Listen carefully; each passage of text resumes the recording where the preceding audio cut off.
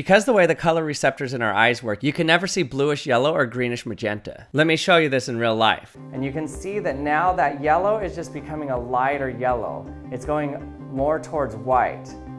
And the more blue I add to it, the lighter that yellow becomes until eventually that yellow is now white. And now as I continue to add more and more blue light to it, I just add more and more and more blue, that white becomes a darker and darker and darker blue until eventually it's completely blue.